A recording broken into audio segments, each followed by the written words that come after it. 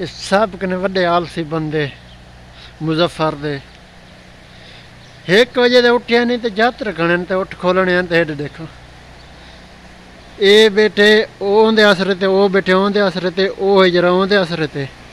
ਲਓ ਉਹ ਹਿਜਰਾ ਲਹੀਂ ਦੇ ਆਸਰੇ ਤੇ। ਤੋਬਾ ਤੋਬਾ।